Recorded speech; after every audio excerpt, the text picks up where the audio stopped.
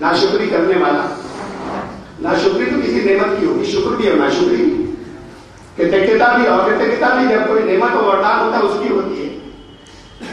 अगर दावा आपका ये है कि ये सबसे बड़ी नेमत है, मुक्ति का मार्ग और कुरान इस्लाम की अगर नेमत है तो फिर नाशुक्री करने वाले तो उन्हीं में से निकले। जिनके पास नेमत है नहीं, वो नाशुक्री कैसे करेंगे? अब कहते ये तीन अर्थ है, ये तीन अर्थों के अंदर से एक अर्थ तो ज़रूर जा सकता है जो मना करे लेकिन मना करे किसी को काफ़ी कहने का अधिकार नहीं, जब तक आप पहुँचा नहीं दे उसको और ऐसे पहुंचाना होगा क्या? उनकी समझ में आ जाएगी शांति की बात। तब मना करें तो आप कह लीजिए, उससे पहले तो अधिकार ही नहीं मिला और दो अर्थ तो पे वापस लौट रहे जो दूसरों को कहाँ कहते खुद अपने ऊपर वापस लौट रहे और कहते मैं तो यहाँ ये, इस बात को स्पष्ट करना चाहता हूँ कि इस शब्द के ऊपर बड़ा मन के अंदर इस तरह के विचार आते हैं, आपस में दुनिया आती है किताब में कैसे कह बहुत कुछ और भी है, मैं यहाँ समय नहीं है जो मैं कहता, कुरान शरीफ की आयतों से बताता, आपको यहाँ वक्त नहीं है। मैं आगे चल रहा हूँ दूसरी जो बड़ी गलत फहमी है, वो जिहाद शब्द के बारे में मैं रह गई मैं, इंशाल्लाह मैं पेश करूँगा। आप पुस्तक है हमारी, आओ जिहाद करें। तो सबसे कहा सभी लोग। आने साथ में शामिल हो जिहाद करने के लिए तो। जिहाद का अर्थ लड़ाई था ही नहीं। है ही नहीं, अरबी भाषा में जिहाद लड़ाई को कहते ही नहीं। कुरान में ये शब्द लड़ाई की मीनिंग में आए ही नहीं। बहुत जगह है कुरान में। जिहाद का मतलब सच्चाई के लिए लगातार लगातार कोशिश। प्रयास लगातार अच्छी बातों के लिए और सच्चाई के लिए इसे जिहाद कहते हैं। कुरान शरीफ में जो शब्द लड़ाई के लिए आया वो है किताब। लड़ाई के लिए वर्ड किताब आया है लफ्ज जिहाद नहीं आया। हाँ अगर सच्चाई या के आंदोलन या सच्चाई के लगातार कोशिश के अंदर ये हो सकता है कि कुछ जगहों पे कुछ लोग ऐसे आ जाएँ जिनके बारे में श्री कृष्ण को अर्जुन को समझाना पड़ा कि इस तरह तुम्हें लड़ना ही होगा।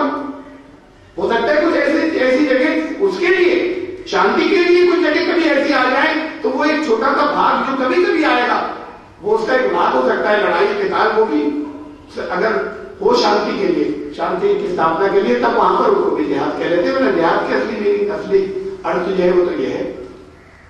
बड़ी पुरानी बात है क्योंकि यहाँ पर मैं भाई साहब से मैं कहूँ कि बता, बताना चाहता हूँ कि नरेंद्र मोहन साहब से एक बार उनके घर पर मुलाकात हुई कानपुर में। वो हमारे साथ के थे वो ले गए। एक दो बातों के बाद कुछ बातें मैंने कहनी शुरू की, वो खामोश हो गए। मैं तकरीबन ऐसे हुआ, जैसे आपसे बात कर रहा हूँ, एक घंटे बोला। और खामोश बैठे रहे। फिर जब खत्म हो गई मेरी बात तो खड़े हुए। उनके घुटनों में तकलीफ़ थी। बहुत तकलीफ़ थी। खड़े होने में भी कष्ट होता था। फिर खड़े हुए, बड़े लंबे, अच्छे टॉल कद के आदमी उनको मुझसे गले मिलने में झुकना पड़ा। फिर उसके बाद उससे कहने लगे कि, भाई, आज, भाई साहब, आप उम्र में मुझसे छोटे हैं। मैं बड़ा हूँ। लेकिन आज से आप मेरे बड़े भाई और आज तो आप मेरे घर आए हैं। आइंदा जब भी हमारी मुलाकात होगी तो मैं आपके यहाँ मिलने आऊँगा, आप नहीं आएँगे। फिर उसके बाद निकलकर मुझे बाहर जहाँ गाड़ी पार्क थी वहाँ तक छोड़ने के लिए गए।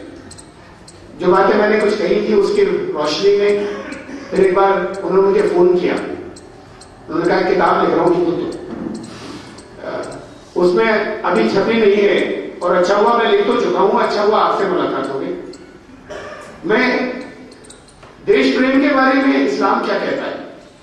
मैं आपसे जानना चाहता हूँ, मैंने जो कुछ सुना है बहुत सी बातें उसमें बदली जो आपसे सुनी तो मैं उसके पीछे मैं आपसे जानना चाहता हूँ। मैंने उनको कुछ लिखकर भेजा था, बहुत से पेजेस पर उसकी कॉपी आज भी मेरे पास है। और फिर वो किताब उन्होंने जब छपी तो मुझे भेजी उन्होंने।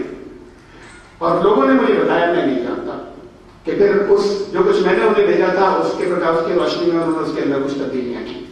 कुछ चेंज किया उस वक्त छपी नहीं थी बात यह है कि ये सारी जो गलत फहमियाँ यहाँ पर ये जो, जिसकी ताल्लुक, जिसका, जिसकी शुरुआत हुई, मैंने आपसे कहा कि भाषा के अंदर से। उसके अंदर में छोटी सी एक बात, हम मुसलमान नमाज़ पढ़ते हैं, अपनी मूल उपासना को नमाज़ कहते हैं। ये नमाज़ लफ्ज अरबी भाषा का नहीं है। कुरान शरीफ में कहीं नहीं आया। आपकी अजान होती कहते हैं हरियाणा सलात आओ सलात के लिए। सलाद कहते हैं, कुरान में, अरबी में तो ये नमाज़ कहाँ से ले आए? नमाज़ तो हमने, जब विद्वानों से पूछा, उलमा से पूछा तो उन्होंने कहा, पर्शियन का है, फारसी का है। पर्शियन में भी मूल धातु होती है, उसे मस्तर कहते हैं, जैसे संस्कृत में होती है, जैसे माता होता है अरबी के अंदर। ऐसे पर्शियन में पर्शियन में नम कहते हैं, कीले को, उससे नमाज़ का कोई अर्थ नहीं बनता। नम कपड़े नम हो गए, ठीक है? सोचे ही नहीं, और भी नहीं किया दुनिया की एक ही भाषा है, जहाँ पर इस शब्द का मूल मिलता है, नमक कहते सर झुकाने को और वेदों में अजग आ गया उस अजन्मे को, जिसे दूसरों को जन्म दिया, खुद उसको किसी ने जन्म नहीं दिया उससे अजग आ गया नमा और अजर की संधि से नमाज़ बना था जो फारसी में जाके नमाज़ पढ़ो। वहाँ से क्या क्वेश्चन है बिनी के भी बनते अजन्मे को नमाज़ तो यहाँ के मुसलमान अपनी यहाँ अपनी मूल उपासना जो है, वो उसी, उसका नाम उसी भाषा में लेते चले आ रहे सिर्फ़ मालूम नहीं है ये बात। उस नाम को अरबी में इसका नाम छोड़ दिया सलाद लोग नहीं यूज़ करते। मैं, इसकी, मैं दरअसल मैं देश की मैं बात कर रहा था, इसलिए मैंने नमाज़ का ज़िक्र किया। बड़ी इंटरेस्टिंग बात है। यहाँ पर हमारे हम सुनते चले आ रहे हैं। कुछ लोग कहते हैं, भाई, हमारे बहुत से, कि हमारा जितना सा नहीं था इसकी बात नहीं हो रही है जो पाकिस्तान बना के बाद को बांग्लादेश और पाकिस्तान हो गया, वो पहले पाकिस्तान टूटा था, यहाँ से अलग हुआ था। और ये भी करीब की बात है, जब श्रीलंका था और जब नेपाल था तो ये जो हमारा उप महाद्वीप जिसे हम कह रहे हैं, खाली ये विभाजन इतना ही नहीं है। इसे, ये तो हुआ भारत, अभी 1947 उन्नीस सौ सैतालीस में यहाँ पर विभाजन हुआ। हमारे यहाँ पर बहुत से भाई कहते चले आ रहे हैं कि नहीं, भारत की सीमाएँ तो इससे और आगे थी। ये इससे पहले जब हम इधर जाते हैं, पूर्व के अंदर जाते हैं तो फिर पूर्व के अंदर जाने में ये बर्मा है और बर्मा से फिर हम और आगे जाते हैं। थाईलैंड है और कंबोडिया है और फिलीपाइंस है और मलेशिया है और इंडोनेशिया है। ये सब भारत में था। और फिर पश्चिम में जाते हैं तो ईरान है और अफ़गानिस्तान है। ये सब भारत में है और फिर उसके बाद उत्तर पश्चिम के अंदर जाते हैं। तो ये जितने भी, ये पहले जो सोवियत यूनियन के अंदर थे भारत को आज़ाद हुए। ये सारे जो है, ये ये सभी सब भारत के अंदर थे। Tajikistan, Uzbekistan, Kazakhstan. देखिए, भाषा में सब में स्थान आ रहा है हिंदुस्तान की तरफ़। खैर, ये ऐसा दावा है जिसका कम से कम इतिहास में लाते उसके प्रमाण बहुत से लोगों से। ऐतिहासिक युग की बात तो नहीं है। इतिहास में प्रमाण नहीं है। लेकिन इतिहास तो बहुत, ये पुरानी बात होगी इतिहास शुरू उसके बहुत बात को हुआ। अगर कभी ये भारत इतना लंबा सीमाएँ कभी थी, हमारे नमाज़ शब्द में उसका प्रमाण मिलता है कि थी। बाकी बातें तो जानने दीजिए। हम यहाँ पर इसे नमाज़ कहते हैं पाकिस्तान के लोग इसे नमाज़ कहते हैं सलाद नहीं कहते बांग्लादेश के लोग इसे नमाज़ कहते हैं सलाद नहीं कहते ईरान के लोग नमाज़ कहते हैं सलाद नहीं कहते अफ़गानिस्तान के लोग सलाद नहीं कहते ये ताजिकिस्तान उज्बेकिस्तान कजाकिस्तान इन सब के लोग इसे नमाज़ कहते हैं और सलाद नहीं कहते हम जब पूर्व के अंदर जाते हैं तो बर्मा और म्यांमार के लोग इसे नमाज़ कहते हैं और सलाद नहीं कहते कंबोडिया के लोग इसे नमाज़ कहते हैं थाईलैंड के लोग इसे नमाज़ कहते हैं इंडोनेशिया के लोग नमाज़ कहते हैं मलेशिया के लोग इसे नमाज़ और आप अफ्रीका में चले जाइए तो कहेंगे सलाद, नमाज़ नहीं कहते अरब देशों की बात तो अलग नहीं बोल तो सलाद कहते हैं। आप यूरोप में चले जाइए, आप यूएसए में चले जाइए गोइंग टू ऑफ़र सलाद, नमाज़ नहीं कहते यहाँ के लोग जो कह उनकी बात अलग और गोइंग टू ऑफ़र सलाद तो सलाद कहते हैं। दुनिया का ये इतना बड़ा हिस्सा है, जिसके बारे में ये ये सारा वो हिस्सा है, जहाँ पर आज भी अपनी मूल उपासना को मुसलमान नमाज़ कहते चले आ रहे ये सारा वो हिस्सा यहाँ पे पब्लिक पहचान, इस्लाम के नमाज़ में हमें भारत की प्राचीन सीमाओं, सीमाएँ मिल रही है कि कौन सा हिस्सा है? वो सारा जो हमारा प्राचीन भारत था। ये तो खाली भारत खंड है। फिर, ये जो एक बात और कहनी थी, बड़ी इसके अंदर जितनी में कह गया इसमें बड़ी विचार करने की बात थी। उन्नीस सौ सैतालीस के अंदर विभाजन हुआ। बहुत से लोग आज तक कहते हैं, मुसलमानों ने करवाया। मुसलमान बहुत से ये कहते हैं कि हिंदू अगर बॉस नहीं बने होते और हमें यहाँ पर जीने दिया होता तो नहीं बनता वो हिंदुओं ने करवाया। और बहुत से लोग कहते हैं, ना हिंदुओं ने करवाया, ना मुसलमानों ने कराया। ये डिवाइड एंड रूल की विभाजन की पॉलिसी थी, ये ब्रिटिशर्स ने करवाया। बहुत से लोग ये कहते हैं तीन तरह की बातें हैं। छोड़िए तरह सा, इतना सोच लीजिए कि ये विभाजन जो हुआ ऐतिहासिक युग में अगर भारत की सीमाएँ वहाँ तक थी जिसके अंदर ये सारे मैंने नाम लिए पूरब में और पश्चिम में तो ये तो ऐतिहासिक युग में नहीं हुआ था। इतिहास से पहले की बात है। इतिहास से पहले की बात है तो मुसलमान थे ही इतिहास से तो ये उस समय की बात है, इतिहास से पहले की बात है तो ये जिसे हम ब्रिटिशर्स कह रहे हैं, ये तो बिल्कुल इनको तो ज्ञान यहाँ पर हमने कभी दिया था, ये तो वो थे कि जो पढ़ना लिखना भी नहीं जानते थे, ये तो ज्ञान के बारे में कुछ जानते नहीं थे और इनके पास कोई शक्ति और सत्ता थी। ये तो बड़े बैकवर्ड थे। तो न ब्रिटिशर्स थे, न ये मुसलमान जो आज कहलाते हैं, ये थे। उसे ही उससे पहले।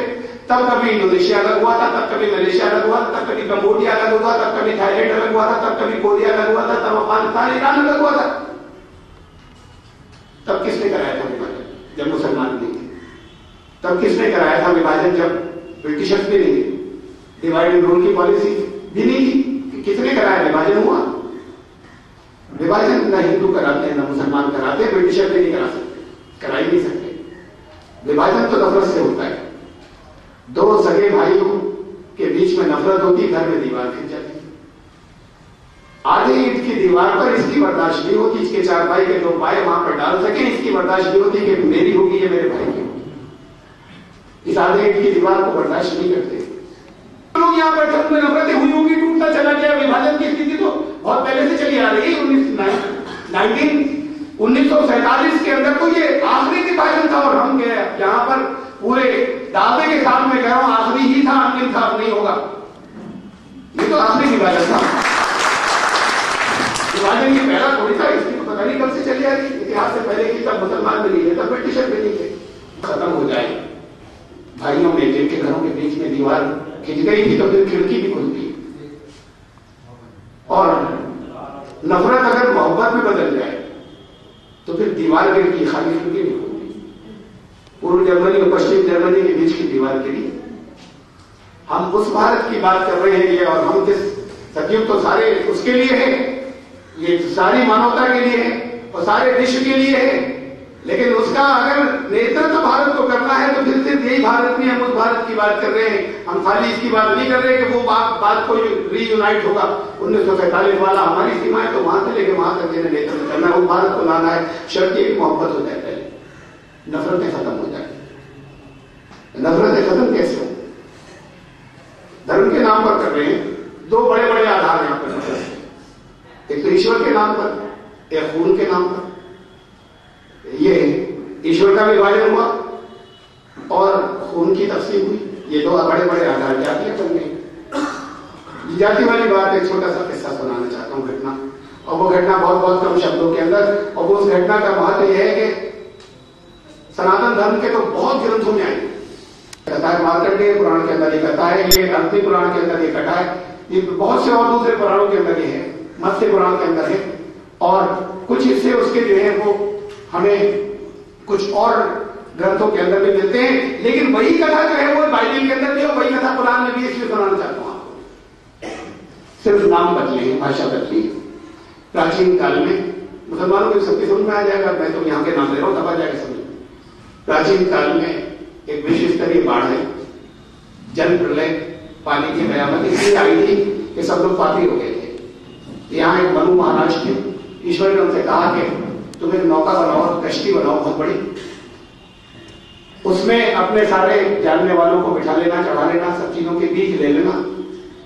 फिर जल प्रलय आने वाली है। जितने वो लोग हैं जो अवज्ञाकारी हैं, जितने पापी हैं, वो सब नष्ट हो जाएँगे। सिर्फ़ इस नौका के ऊपर जो है वो बचेंगे, जो लोग होंगे। मनु महाराज ने ऐसे ही किया। उस नौका के ऊपर उन्होंने अपने साथ जिनों को चढ़ाया, सिर्फ़ वो बचे विश्व के बढ़ाई सारा विश्व डूब गया। और फिर मानवता फिर से शुरू हुई सबके प्रधान हो जाने के बाद। उनसे जो कश्ती में थे कुरान शरीफ में कहता है आप में से ये ये वाक्य मुसलमान सब जानते होंगे किसे कहा जा रहा है? बाइबल में कहता है उनसे पूछेंगे ये नोआ की नोआ ये नोआ रात का किस्सा है। यही कहता बाइबल में भी है। यही बाइबल का मतलब यहूदी ईसाई दोनों मानते हैं इसे। मुसलमान सारे मानते हैं। और सनातन धर्मियों को मानना चाहिए जिन्होंने सुन रखी है। तो ये विश्व के आस्तिकों की या ईश्वर को मानने वालों की ये पिचानवे फ़ीसदी संख्या हो गई। इसलिए मैंने ऐसा सुनाया कि इस पर सहमत है। अगर इतने लोग विश्व के आस्तिक अगर पिचानवे प्रतिशत अगर इसके ऊपर सहमत है, उनका इतफाक राय है तो फिर इतिहास में ये घटना तो कभी घटी थी।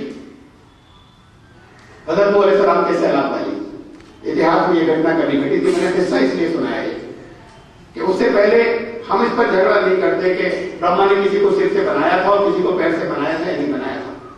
शुरू में सृष्टि के आगे हम इस पर झगड़ा नहीं करते। लेकिन बात यह है कि अगर कोई ब्राह्मण था तो वो डूब गया वो पापी था। अगर कोई क्षत्रिय और शूद्र था तो शूद्र भी पापी था और क्षत्रिय भी पापी थे और वैश्य भी पापी थे। विश्व स्तरीय बाढ़ आई थी संहार था ये सब पापी थे, सब डूब गए। अब तो सिर्फ़ नौका पर जो लोग थे वो बचे थे। मनु महाराज बचे थे हज़रत सलाम बचे थे। और उनके मानने वाले बचे थे कुरान ने उनकी संख्या नहीं बताई। कुरान ने कहा, मानने वाले बहुत थोड़े से थे। हमारे यहाँ पर भारतीय परंपराओं के अंदर संख्या भी आती है, उनको सप्त ऋषि कहा जाता है।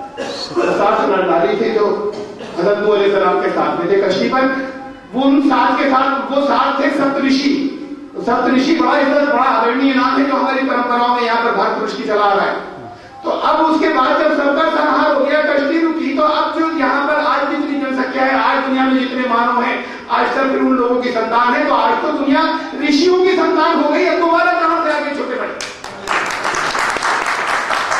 पहले क्या हुआ था, इस पर हम बात नहीं करें बात तो यह है कि एक समय ऐसा आया था, जब सिर्फ़ मनु महाराज और सप्तऋषि थे, और फिर वहाँ से मानव जाति शुरू हुई, आज सप्तऋषियों की संतान है ये धर्म पर वापस लौट के आएँगे सब जाति खत्म तब उनका तब ये बात आई कि चल अपना को कोई बता कौन सा हमने तुम्हें एक माँ बाप से सबको कह रखा है धर्म पर आएँगे।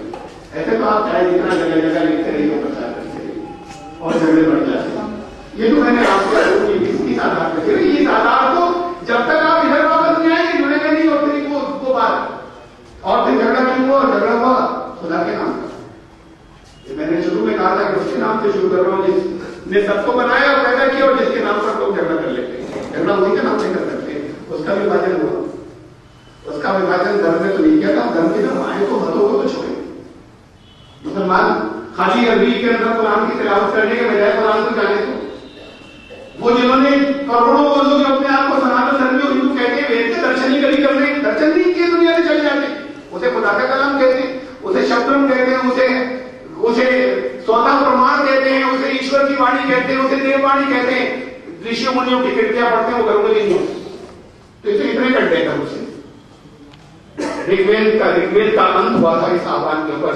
मंत्र, समिति, समाधि बल में शाम। ये संज्ञान सूत्र कहलाता है और संगठित सूत्र भी कहलाता है। ऋग्वेद का अंतिम सूत्र है। हम सबके ये हम सबको समान मंत्र पर एकत्रित हो। समान मंत्र पर सारी मानवता एक एक एकत्रित हो, उनके चित्त भी समान हो, उनके मन भी समान हो। इस समान मंत्र की बात कुरान ने की जिसके ऊपर, जिसके खुलासा है पूरा, जहाँ पर वेद का अंत हुआ था। इस समान मंत्र की कुरान ने बात की थी। कुल या अहल किताब तालो इला कलिमतिन सवाइन बैनना व बैनकुम अल्ला नअबुद इल्ला वला नुशरिक बिही शैया। ये कह दो कि हे पूर्व ग्रंथ वालों आओ हम तुम संधि कर लें जुड़ जाए एक दूसरे से। उस पर जो हमारे तुम्हारे बीच समान है, समान मंत्र पर कल मैं सवाल समान मंत्र हम आओ, समान मंत्र पर एकत्रित हो जाए। फिर कुरान ने आगे ये भी कही कि जिसे वेद कहते ही चलाया था, उसको खुलासे में नहीं कहा था, कुरान ने कहा भी, इशारा दिया कि समान मंत्र क्या है, हमारे बीच समान क्या निकलेगा?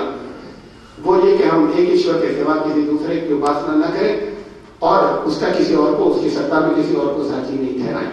ये समान मंत्र की बात की थी। वे तो कहते चलाया था इसे। सब एश एक एक विदेक एक वही एक है हमें। वे तो कहते चलाया था नगर से प्रतिमा जिसकी प्रतिमा नहीं होती कभी। यश नाम आदेश जिसका सिर्फ़ याद, जिसका ज़िक्र ही सबसे महान यश है, जिसका नाम ही। वेदों ने भी कहा था कि तत्सिद्धे भक्ति मानसा श्याम ईश्वर सिर्फ़ तेरे ही भक्त होंगे। फिर तेरी खाली ट्रेनिंग फिर तेरी होगी कहा दूसरों के लिए बाहर के धर्म अन्य शब्द किसी अन्य के नहीं होंगे। किसी अन्य की विविधता मत करो। तो एक धर्म था, कभी धर्म का बदला कब कभी धर्म बदला ही लोगों ने अपने जीवन के अंदर धर्म बदल लिया है और हमने अपने मत बना लिए ये वेब से अलग हटे कुछ और परंपराओं में चले गए। ये खाली अरबी के अंदर कुरान याद करते रहे। कुरान का अर्थ नहीं जाना। तो आपस में तरह तरह के मत बन गए।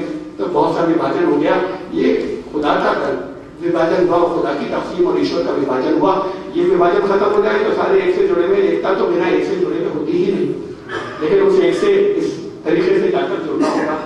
कुछ ये गलत फहमियाँ आपस के अंदर जब दूर हो जाएँगी तो मैं ज़्यादा नहीं इसके ऊपर यहाँ पर समय लगा सका कि मैं उन आयात के बारे में आपको बताता जगह जगह पुस्तकों में छापी जाती है, जिहाद के नाम पे। ये मारते लेकिन इतना और सुन लीजिए, इतना ज़रूरी है सुन लीजिए। बहुत इसलिए समय नहीं, यहाँ पर तो विषय पूरा बड़े गलत तरीके से प्रस्तुत किया जाता है।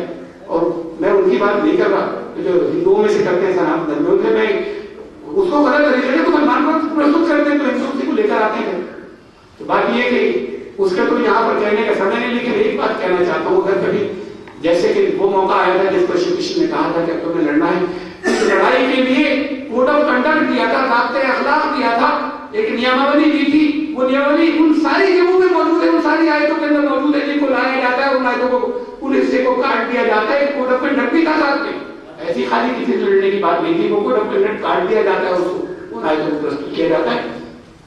वो सारी आयतें जो जो जहाँ पर दो एक सौ नब्बे एक सौ इक्यानवे पढ़ के देखिए जगह जगह एक बार नहीं बार बार का फ़ायदे तो फला उस्मान रहता अलग तालिमी उन्हीं आयतों के बीच में ये दो जगह से शब्द आए कि फिर ये लोग हमला करने वाले और तुम पर ज़्यादा करने वाले अगर इस बात से बात आ जाए आगे के लिए कहें नहीं तो फिर लड़ाई फिर झगड़ा नहीं होगा अगर वो बात आ जाए।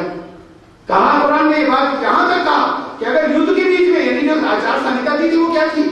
युद्ध के बीच में युद्ध हो रहा है। अगर युद्ध के बीच में कहीं पर अगर संधि का उनके पास आ जाए सूर्य अल्फाल आठवीं सूरत, आयत नंबर साठ सिक्सटी सिक्सटी वन। कहा कि अगर अगर उनके पास से संधि की बात आ जाए, संधि की बात वो क्यों करेंगे जिन्होंने हमला खुद किया था? दबरे होंगे, तभी करेंगे ना। तो कहा कि अगर आ जाए, वही जगह लिस्टर में फटना कहा, अगर उनके पास से आए तो तुम्हें युद्ध नहीं रहेगा बाकी क्या कर लेते कि नहीं दलदले मारे बगैर मत छोड़ना। युद्ध की बात आ जाए तो कहा कि उनकी संधि को मानना और उसके बाद कहा कि भाई हम लोगों का और अगर उनका इरादा ज़ाहिर बात है कि जिन्होंने खुद आक्रमण किया, वो संधि की बात कर रहे हैं तो इसका मतलब दब रहे होंगे। कहीं बीच में अगर उनका इरादा फरीब दगाबाजी का होगा, धोखा देने का होगा और इन्ना अल्लाह अल्लाह को अपने लिए काफ़ी समझ लेना लेकिन संधि कर लेना, लड़ाई मत करना। ये कहा कि अगर जंग के दौरान सूर्य नंबर नौ की आज़ाद लाई जाती है, मेरे सामने टुकड़े लाए जाते हैं कि साहब इसके अंदर मारने की बात कही वहाँ पर साथ में ये सारी बातें तो उसमें काट दिया थी किने मारने की बात की जिन्होंने हमने किए थे। उनसे लड़ाई के बीच में। श्री कृष्ण ने नहीं की मारने की बात। तो फिर वो वहाँ पर वहीं पर इन चीज़ों को काटते थे, उन्हीं जगहों पर मौजूद है। सूर्य नंबर नौ की सूर्य तोबा के शुरू के अंदर कि अगर एक भी मैं मुसलमानों को बताना इसलिए कि आपको नहीं मालूम है पढ़ते ना खाली। कि अगर तुमसे बीच में कोई पना चाहे, शरण चाहे, दुश्मन का अगर बीच में शरण चाहे, उसे बताओ, उसे शांति का पालन दो। उसे बताओ आने का बाद में। हत्ता यस्मा कलाम अल्लाह उस वक्त तक जब तक ये ईश्वर की वाणी सुन ले समझ ले उसे। उसके बाद मजबूर नहीं कर सकते कि तुम्हें इसे मानना है। वो जो एक आदमी ने अगर बना ली थी दुश्मन की, कुरान कहता है कि तुम अल्लाह हो उसके बाद उसको वहाँ पहुंचाना जहाँ अपने आप को सिक्योर फील करे, जहाँ ये समझे कि मैं अमन में हूँ। पहले वहाँ पहुंचाना, ज़बरदस्ती नहीं हो सकती। दुश्मनों में वापिस पहुँचा देना, अगर वहाँ पे अमन महसूस कर रहा हो कि मैं यहाँ पर हूँ। वो दुश्मन जिसे तुमने बना दी थी, अगर उसने बना मांगी थी, उसको इस्लाम के बारे में बताओ, फिर उससे ये नहीं कह सकते कि तुम्हें मानना पड़ जाएगा, इसलिए कंपल्शन फोर्स नहीं हो सकता उसको पहले उसके अमन की जगह वापस पहुंचाओ। फिर अगर लड़ेगा तो मारा जाएगा और चाहेगा तो तुम्हारे साथ में रहेगा। जो जिसने इतने तक बात की जाके ये तो ये तो बहुत थोड़ी सी आचार संहिता कुरान में थी। मैं पहले मोहम्मद वसल्लम की बात बताना चाहता हूँ, आपको आचार संहिता की, युद्ध के बारे में। कुछ उन्होंने चीज़ें दी। मैदान जंग के अंदर युद्ध क्षेत्र के अंदर महिलाओं पे हाथ नहीं उठाया बूढ़ों पर हाथ नहीं उठाया जाएगा, बच्चों पर हाथ नहीं उठाया जाएगा। फल वाले वृक्ष नहीं काटे जाएँगे, आग नहीं लगाई जाएगी। किसी के धर्म स्थलों को नहीं गिराया जाएगा। ये आचार संहिता करोड़ों शासन में लिखी जल के दिनों सिर्फ़ एक बात की मैं इसलिए बात करता हूँ। महिलाओं को नहीं मारा जाएगा। महिलाएँ क्या कर रही है क्षेत्र में? थी क्यों? अगर लड़ने नहीं थी तो इनडायरेक्ट मदद कर रही होंगी नर्सिंग कर रही होंगी जख्मियों की मरम पट्टी कर रही होंगी। तो जो लड़ नहीं रहा मजदूर क्या कर रहे थे? मजदूरों को नहीं मारा जाएगा मजदूर क्या कर रहे थे? हथियार लाए होंगे। लेकिन डायरेक्ट नहीं लड़ रहे चाहे तो हथियार लेकर आए कहा युद्ध क्षेत्र के ऊपर जो सिर्फ़ डायरेक्ट लड़ रहे थे, उससे लड़ाई होगी। जो हथियार लाने वाले को नहीं मारा जाएगा, वो महिलाएँ जो उनकी नर्सिंग कर रही है मरम पट्टी कर रही है, उन्हें नहीं मारा जाएगा। बूढ़ों पर हाथ उठाया जाएगा, बच्चों पर हाथ उठाया जाएगा, खेतियाँ नहीं उजाड़ी जाएगी। ये तो ये ये आचार संहिता उन्होंने दी। आपके यूनाइटेड नेशन चार्टर के अंदर ये चीज़ें नहीं जो उन्होंने दी, जो आचार संहिता उसके मानने वाले ये कर सकते कि किसी जगह बम फेंक दें और कहें, और वहाँ पर बहुत से लोग खत्म हो जाए। कहीं कहीं मैं सब, बहुत सी जगहों पे तो झूठा पर प्रबंधा होता है, कहीं कहीं सब कुछ होता है। बात तो ये कि पहले तो इसे समझे। जिहाद क्या था? और ये ये बुनियादी कुछ मूल बातें थी। और बहुत मुख्तसर सी कुछ बातें तो आ गई ना। पड़ोसी के हुकूक की कैसी बातें? आपने सुनी थी कि अगर ईमान नहीं बचेगा कसम खा कर तीन बार सोहरत खाई थी। अल्लाह को तीन बार गवाह बना करता है, ईमान वाला नहीं है नहीं है तो सत्संगियों ने दामन पूछा है अल्लाह के रसूल कौन? ताकुत पेट भर कर खा ले और पड़ोसी की घर छोड़ा नहीं चले इसमें भी एक मैं बैरू सुतून की बात बताना चाहता हूँ, इसको आपने बताई थी, बड़ी अच्छी बात।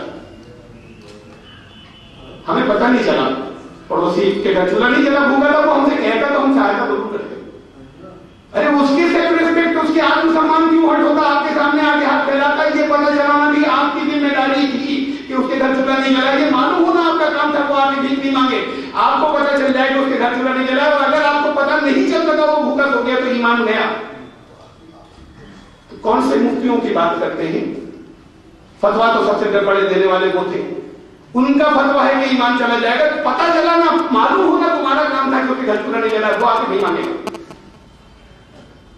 जिन्होंने और पड़ोसी को कहा कि चालीस घर तक पड़ोस होगा दूर दूर तक चारों तरफ़। उस पड़ोस के अंदर चाहे हिंदू हो, चाहे ईसाई वो पड़ोसी है ये पड़ोसी की जो जो उन्होंने बताया था कि पड़ोसी किसे मानना, और फिर पड़ोसी के हक जो आए थे कुरान के अंदर, और अधिकार आए थे, और हदीस के अंदर आए, फिर सिर्फ़ एक जुमला ही कह रहा हूँ कि उन्होंने कहा था कि तुम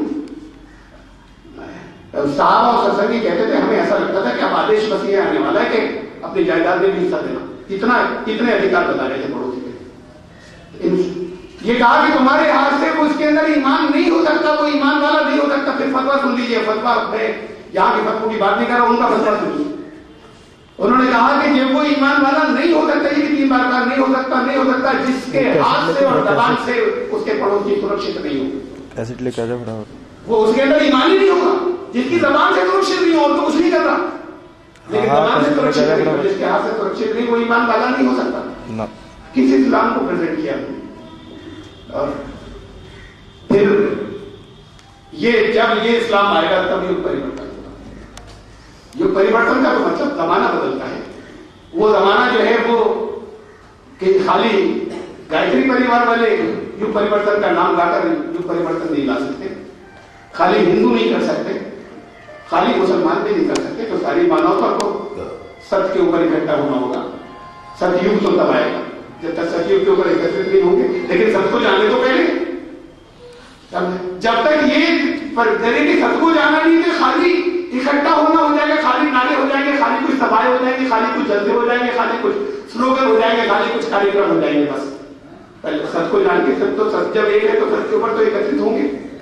इस सच के ऐसा जो के आने की बात कही थी, कुरान ने कही थी। अब मैं तो अपने दादी परिवार के भाइयों से कहता हूँ क्योंकि इस नाम से तो मेरी वहाँ पर पुस्तिका छपी है इन लोगों ने।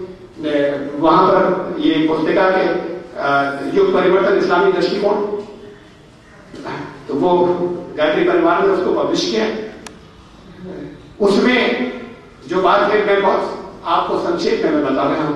ये बात कई जगह कही, एक जगह नहीं बहुत सी जगहों पे गई मैं उसमें से एक जगह की बात कर रहा हूँ, जहाँ पर कौम की तब्दीली की बात कही। परिवर्तन लोग परिवर्तित होंगे पहले तो। और लोगों के परिवर्तन का मतलब हर समझ लीजिएगा सब सच्चाई की तरफ़ परिवर्तन हो मतलब ये ये तो ये कहा कि तुम जब अपनी ज़िम्मेदारी अदा करने वाले नहीं बनोगे, कौन सी ज़िम्मेदारी? है जो मैं अभी तक कह रहा ये थी ज़िम्मेदारी है जिसे अदा करने वाले नहीं भाई तक बंदो तुमने अगर पीठ फेरी अपनी जिम्मेदारियों से तो से दूसरे तब्दील करके एक दूसरे कौम को तब्दील कर देगा। तब्दील कर देगा, उन चीज़ों की तरफ़ बनाई की तब्दील कर देगा। इस तरफ़ तुम मना उनकी मिसाल को तुम जैसे नहीं होगी उनकी मिसाल तुम जैसी नहीं होगी, वो पीछे नहीं हटेगी ये कैसी एक जगह थोड़ी वार्निंग है कुरान शरीफ में मैं ये बताना चाहता हूँ कि वो लोग कौन है? कुरान शरीफ जिनके बारे में कुरान ने एक जगह बहुत जगहों पे कहा कि, कि परिवर्तन अल्लाह उनमें लाएगा तब्दील तुम अपने अंदर का परिवर्तन। तुमने अपनी सच्चाई से अपने आप को परिवर्तन कर दिया तो इधर तो अल्लाह परिवर्तन उनमें लाएगा कौन होंगे वो? ये भी बताया। जब पूछा सहाबा ने सत्संगियों ने हज़रत मोहम्मद से कि ये जो कुरान में आए हैं ये मन हूँ या रसूलुल्लाह है हिजूत ये कौन लोग हैं? जिनके बारे में कुरान कह रहा है कि हम पीठ लेंगे तो फिर सच की बात करेंगे।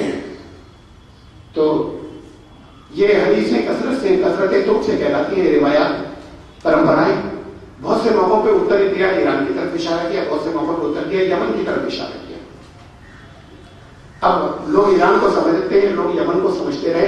असल में तो रेसिस की तरफ़ इशारा था तो बाकी क्लियर हो जाएगी कि दो अलग अलग उत्तर दिए थे बहुत से मौकों पे ये कैसे हो सकता है कि सच बोलने वाला एक कभी इधर इशारा करता हो कभी उधर इशारा करता है? एक नॉर्थ में, एक सऊदी अरब के उत्तर में है और एक दक्षिण में है।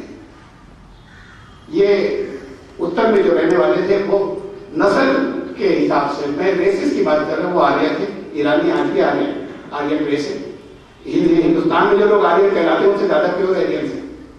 और खाली आर्यंस की बात नहीं हो रही। ये जो द्राविड़ और सिंधी नस्ल की कितनी कौमें हैं, वो वहाँ पर यमन में आबाद थी। उस वक्त क्यों आबाद थी अलग हिस्ट्री का हिस्सा है। लेकिन वहाँ राम, श्याम, हिंद और हिंदा नाम के टूटे फूटे किले और खटराट आज भी मौजूद है रिमेन्स और विल्स यमन में। इन नामों के किले। ये हमारे यहाँ के सिंध और द्राविड़ कौमें वहाँ पर आबाद थी। ये जब ईरान की तरफ़ इशारा करते थे यहाँ आलिया है और वो जब उस वक्त यहाँ पर नहीं थे, और जब इशारा नहीं थे का मतलब ये कि उस वक्त इस नाम से लोग नज़र नज़र के हिसाब से नहीं समझ रहे और जब इशारा करते थे, उधर जहाँ द्राविड़ और सिंधी कभी उनके दौर में आबाद रहे थे, उनके समय में? इसका सामंजस्य ये कि ये तीनों मिलने के बाद दुनिया में एक ही जगह हुए एकत्रित हुए जर्मन भी अपने आप को आगे कहते हैं, वहाँ द्राविड़ सिंधी नहीं है। एक ही जगह है जहाँ पर ये तीन एकत्रित हुए, द्राविड़ और सिंधी और आर्य और ये सब मिलाने के बाद इनका एक कॉमन एक मुश्तरक। एक नाम पड़ गया, हिंदू कहलाने लगे। ये हिंदू नाम भी पहले नहीं था। ये ये ये मिलकर हिंदू कहलाने लगे। तो ये तो इशारा जब कुरान की आयात की तफसीर की उन्होंने बताया तो उन्होंने कहा कि ये लोग होंगे जिनके अंदर आएगा परिवर्तन ये ये ये ये उंगली रख के इशारा कर दिया। अब अगर कुछ लोग खड़े हुए, उन्होंने कहा, हम परिवर्तन की बात कर रहे हैं तो हमारा सहयोग होगा साथ में।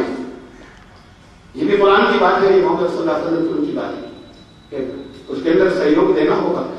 उतने दिनों में जो चीज़ें हम मुश्तरक कहते हैं, जो कॉमन कहते हैं, जो समान कहते हैं, उसमें सहयोग करना है जिन चीज़ों पर? मतभेद है उसमें बातचीत करेंगे। नहीं तो उस पर सहयोग की बात नहीं हो रही, लेकिन अच्छे अंदाज से बातचीत करेंगे इससे मतभेद होगा।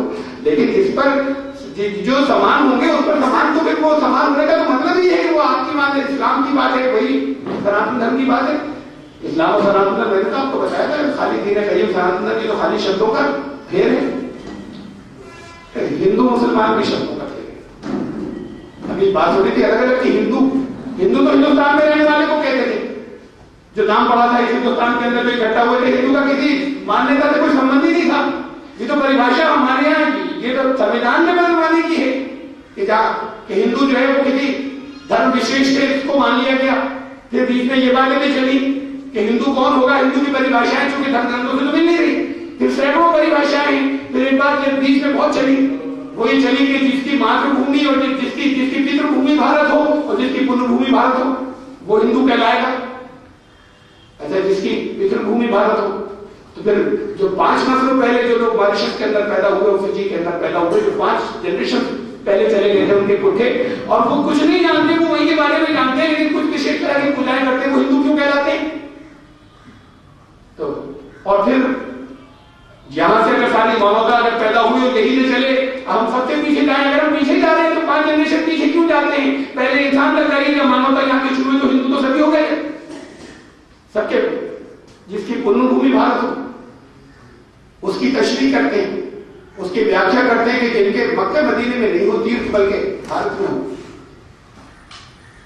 कैलाश मानसरोवर जो है, जो चीन के अंदर आता है, जिनके तीर्थ वहाँ पर फिर उन्हें हिंदू नहीं गए और फिर हिंदू किस चीज़ को यहाँ पर हिंदू कहा जाता है, वो जो ईश्वर को नहीं मानता, वो भी हिंदू है। जो एक को मानता है, वो भी हिंदू है, जो निराकार उपासना करता है, वो भी हिंदू जो साकार उपासना करता है, वो भी हिंदू जो सिरे से कहता है हम ईश्वर को नहीं मानते, वो भी हिंदू है। तो मान्यता से तो जुड़ेगा ही। असल में तो हिंदुस्तान में रहने वाले को कहते थे, ये तो सनातन धर्म था और सनातन धर्म का नाम तो हिंदू था भी नहीं।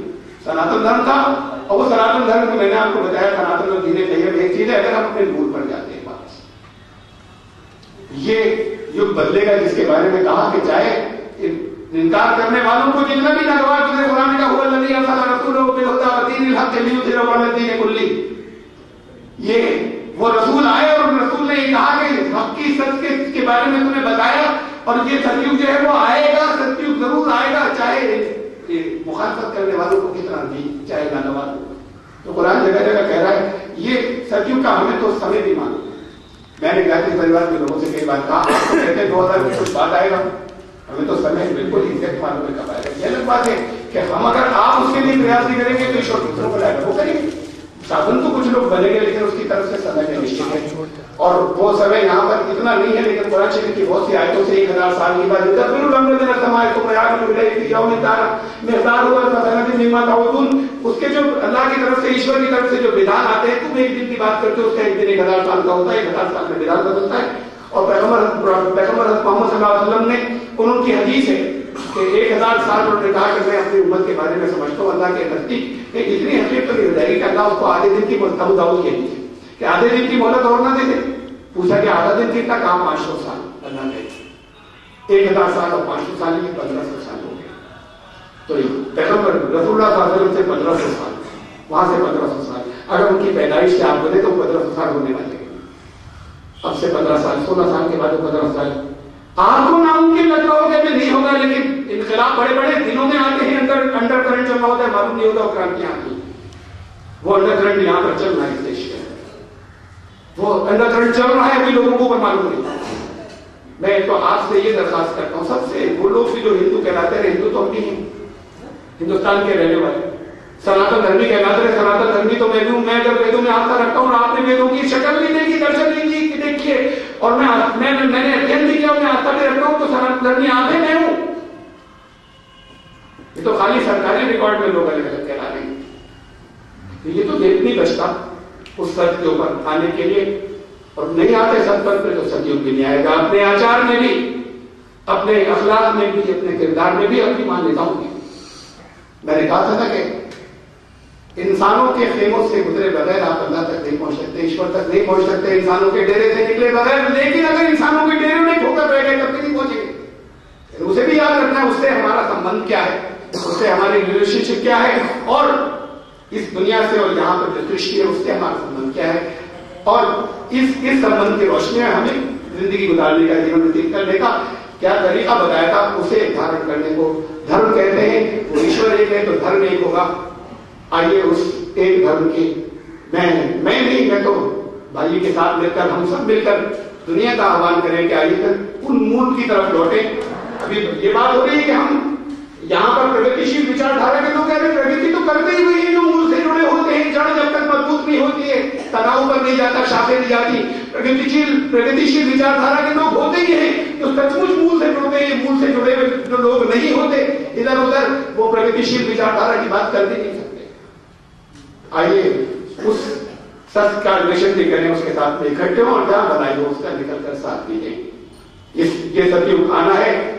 हमारी खुशकिस्मती होगी कि हम उसके अंदर, हमारा नाम लिखा हुआ अल्लाह की फैल्स के अंदर, कि हम भी थे, उसको लाने वालों में नहीं तो वो आपका मुताज नहीं है, हमारा मुताज नहीं है। चाहे जिसको ले आएगा और दूसरे लोग कर जाएँगे। इसके साथ में मैं फिर मुबारकबाद देता हूँ इस कार्यक्रम का आयोजन करने वालों को। और यहाँ जो बहुत बड़े बड़े लोग हैं, जो मेहमान यहाँ आपके सामने बैठे हुए हैं। मैंने इतना ज़्यादा समय ले लिया, मैं यहाँ पर बोलता चला गया, मुझे इजाज़त दे दी गई थी लेकिन जो गुस्ताखी इसमें हुई कितना समय ले लिया मैं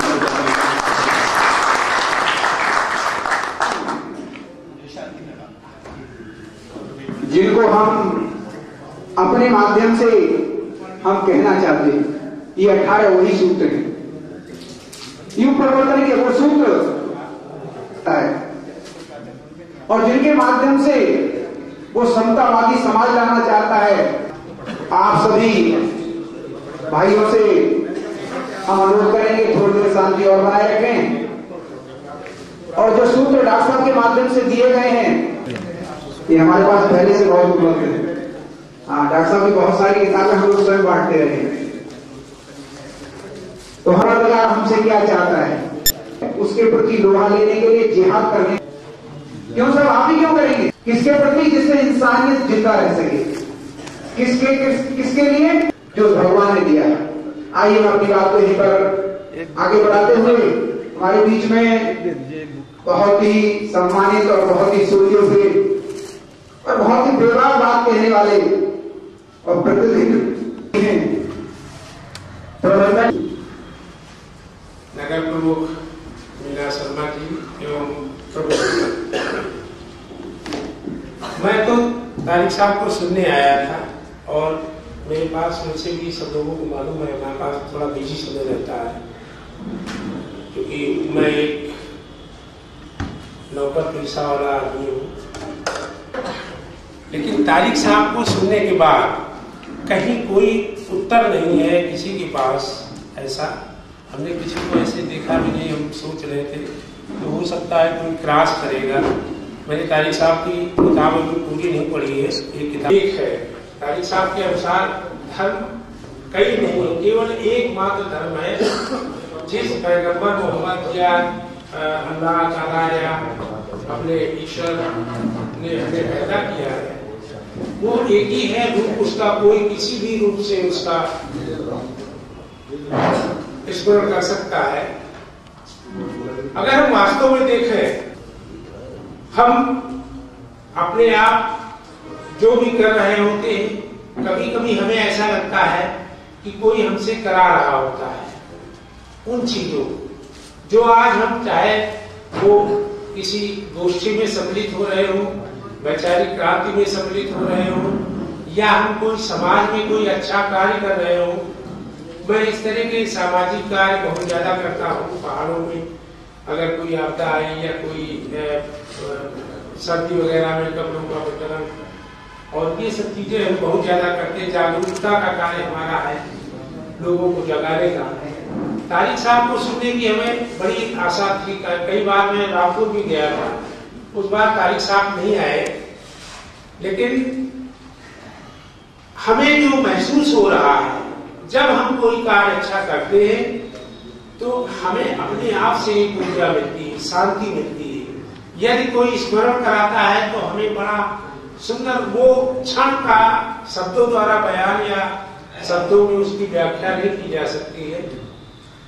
मैं एक छोटा सा सिपाही हूँ आपका, और तारिक साहब के बाद, कहने के बाद आपको कोई ऐसी चीज़ बची नहीं है कि धर्म और उसके संबंध में मैं उतना जानता भी नहीं हूँ तारिक साहब से कुछ चीज़ें भी लेकिन ये निश्चय है, इस मंच पे आने के बाद और यहाँ की बातें सुनने के बाद, एक नई आशा, एक नई किरण, एक ज्ञान का प्रकाश जो तारिक साहब ने आज यहाँ फैलाया उससे एक ऐसी आशा बनी है कि हिंदुस्तान का जो पूर्व ढांचा जो ये आपके अवांछनीय चीज़ें हैं, इनसे अगर बचे रहेंगे तो निश्चित रूप से हम इस अभियान को आगे बढ़ा सकेंगे और भारत में, भारत को एक विश्व का प्रमुख युग निर्माण में अपनी भूमिका सही माने में अदा कर सकेंगे। धन्यवाद।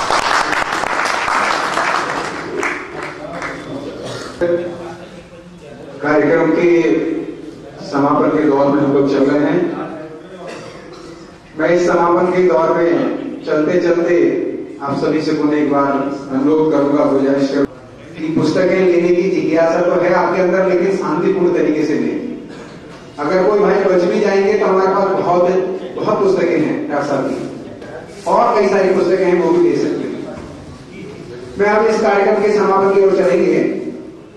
और हमारे बीच में त्रिपाठी जी बैठे हैं। मैं उनसे अनुरोध करूँगा कि आज के ग्रास रूट पर कार्य करते हैं भाई अनूप जी, और जिनका बहुत बड़ा योगदान इन सारी चीज़ों में यही साथ में उपस्थित है हमारे छावड़ा जी, अशोक छावड़ा जी, जो सतत रूप से सहयोग इतने महत्वपूर्ण विचार को आप तक पहुँचाने में रहा है। मैं आप लोग, आप लोगों ने आए, आप यहाँ पर आए। अपनी बहुत ही व्यस्तम समय से यहाँ आपने निकाला, आपने समय दिया। आप सब का आभार व्यक्त कर रहे हैं।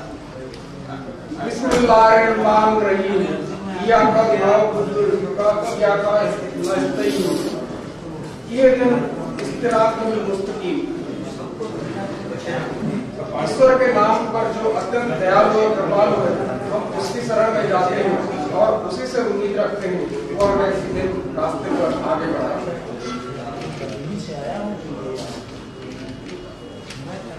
इसी सूरत मनसा के साथ में आज हम सभी यहाँ पर एकत्र हुए हैं।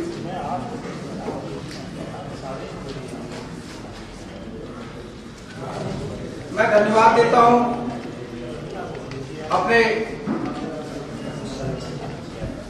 प्रगतिशील विचारधारा के सभी महानुभावों का कि उन्होंने आज हमें अपने लोगों के बीच में अपनी विचारधाराओं से अवगत कराया।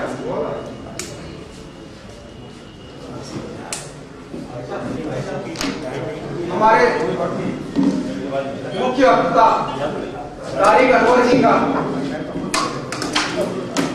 कि उन्होंने हमारा अनुरोध स्वीकार किया। और यहाँ पर अपनी उपस्थिति प्रदान की। मैं धन्यवाद देता हूँ। इस विषय को सम्मानित किया। मैं धन्यवाद देता हूँ। श्रीमती मीना शर्मा जी का कि उन्होंने अपने शुभ कर्मों से और शुभ चिंतन से इस रुद्रपुर की नगर भूमि को एक शुभ संकल्पों के लिए प्रेरित किया। साथ ही साथ मैं उस परवरदिगार को इस शुभ सूचना हम सब तक पहुँचाने के लिए और हम सबको ऊर्जावान बनाए रखने के लिए जिससे कि हम आगामी भूमिका का खूबसूरती से और मिलजुल करके नए युग का आवाज़ और नए युग की जरूरतों को पूर्ण करने के लिए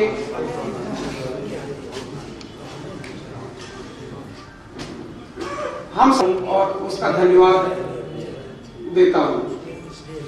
बहुत बहुत नमस्कार।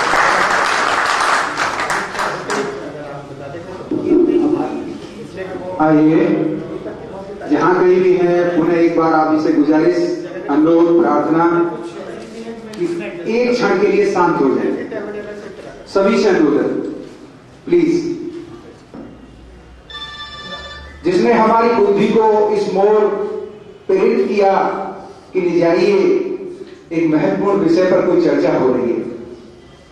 जिसने हमें प्रेरित किया कि हमारे सारे मुकद्दस ग्रंथ क्या कहते हैं? उन सब की बात सुनने के लिए जिसने प्रेरित किया, जिसने मजबूर किया, गायत्री मंत्र कहता है गेट अस राइट इस पाथ हमें अगर हमारी इच्छा ना भी करे, तब भी प्रोपेगेट कर दीजिए फोर्सली हमको उसमें आगे बढ़ा दीजिए। ऐसी भावना से जिसने हमें ओतप्रोत किया, उसी भगवान का ध्यान करते हुए एक मिनट के लिए शांति पाठ। शान्ति अन्तरिक्षगं शान्तिः पृथ्वी शान्तिरापः शान्तिरोषधयः शान्तिवनस्पतयः शान्तिर्विश्वे देवाः शान्तिर्ब्रह्म शान्ति सर्वगं शान्तिः शान्तिरेव शान्ति सामा शान्तिरेधि ॐ शान्ति शान्ति शान्ति। सर्वारिष्ट सुशान्तिर्भवतु शांति समाप्ति। सभी भाइयों का तहे दिल से जो बातें मैंने कुछ कही थी, उसकी रोशनी में फिर एक बार उन्होंने मुझे फ़ोन किया। उन्होंने कहा, किताब लिख रहा हूँ उसमें अभी छपी नहीं है और अच्छा हुआ मैं लिख तो चुका हूँ अच्छा हुआ आपसे मुलाकात हो गई मैं देश प्रेम के बारे में इस्लाम क्या कहता है? मैं आपसे जानना चाहता हूँ, मैंने जो कुछ है बहुत सी बातें उसमें बदली जो आपसे सुनी तो मैं उसके में मैं आपसे जानना चाहता हूँ। मैंने उनको कुछ लिखकर भेजा था, बहुत से पेजेस पर उसकी कॉपी आज भी मेरे पास है। और फिर वो किताब उन्होंने जब छपी तो मुझे भेजी उन्होंने। और लोगों ने मुझे बताया, मैं नहीं जानता। कि फिर उस जो कुछ मैंने उन्हें भेजा था, उसके प्रकार उसकी रोशनी में उन्होंने उसके अंदर कुछ तब्दीलियाँ की। कुछ चेंज किया, उस वक्त छपी नहीं थी। बात यह है कि ये सारी जो गलतफहमियाँ यहाँ पर, कि ये जो, जिसकी ताल्लुक, जिसका, जिसकी शुरुआत हुई, मैंने आपसे ये कहा कि भाषा के अंदर से। उसके अंदर में छोटी सी एक बात, हम मुसलमान नमाज़ पढ़ते हैं, अपनी मूल उपासना को नमाज़ कहते हैं। ये नमाज़ लफ्ज अरबी भाषा का नहीं है। कुरान शरीफ में कहीं नहीं आया।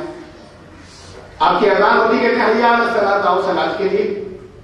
सलाद कहते हैं, कुरान में, अरबी में। तो ये नमाज़ कहाँ से ले आए?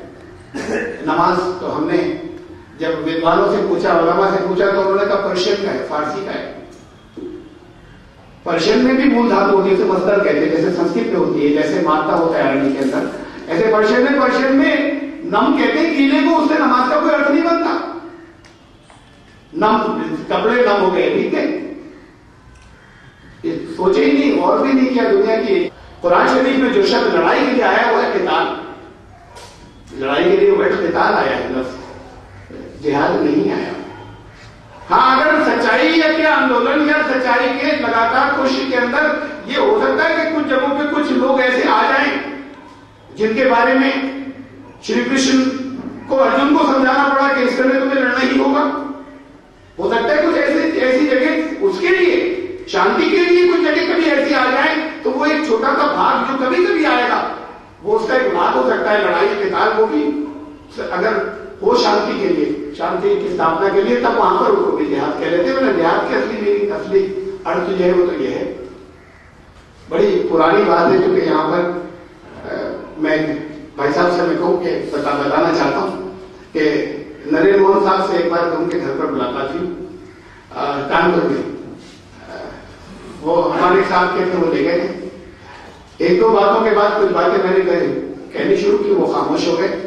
मैं तकरीबन ऐसे हुआ, जैसे आपसे बात कर, एक घंटे बोला। और खामोश बैठे रहे। फिर जब खत्म हो गई मेरी बात तो खड़े हुए। उनके घुटनों में तकलीफ़ थी। बहुत तकलीफ़ थी। खड़े होने में भी कष्ट होता था।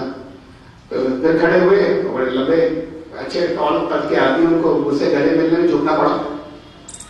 फिर उसके बाद मुझसे कहने लगे कि, भाई, आज भाई साहब, आप उम्र में मुझसे छोटे हैं। मैं बड़ा हूँ। लेकिन आज से आप मेरे बड़े भाई और आज तो आप मेरे घर आए हैं। आइंदा जब भी हमारी मुलाकात होगी तो मैं आपके यहाँ मिलने आऊँगा, आप नहीं आएँगे। फिर उसके बाद निकलकर मुझे बाहर जहाँ गाड़ी पार्क थी वहाँ तक छोड़ने के लिए गए।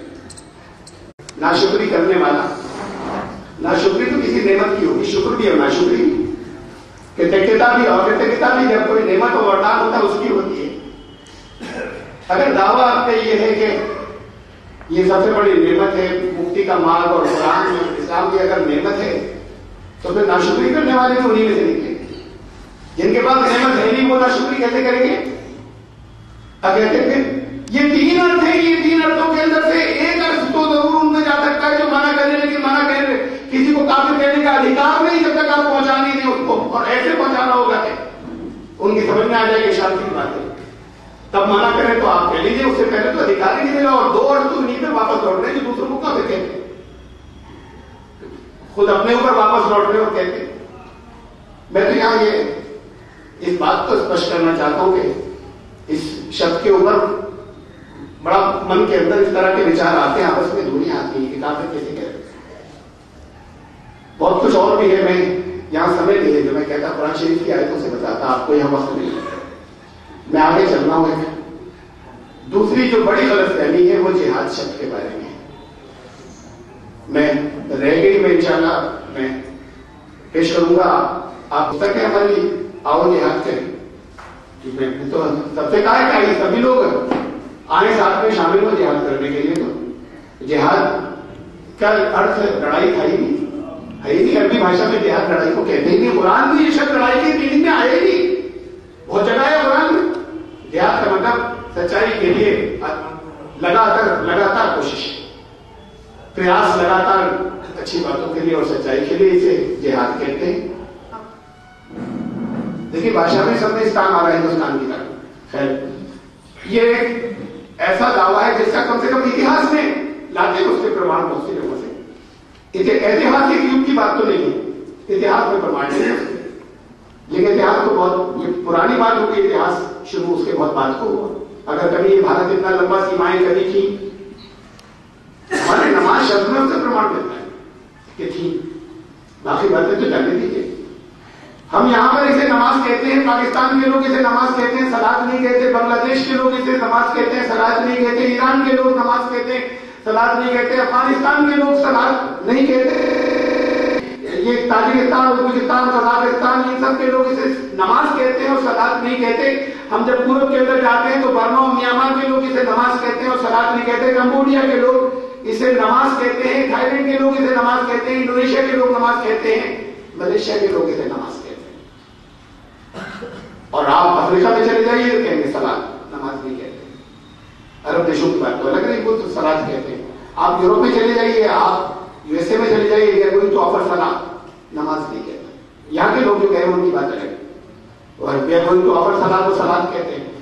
दुनिया का ये इतना बड़ा हिस्सा है बारे में ये ये सारा वो हिस्सा है जहाँ पर आज भी अपनी मूल उपासना को मुसलमान नमाज़ कहते चले आ रहे ये सारा वो हिस्सा यहाँ पे तो अपनी पहचान इस्लाम के नमाज़ में हमें भारत की प्राचीन सीमाओं सीमाएँ मिल रही है कि कौन सा हिस्सा है?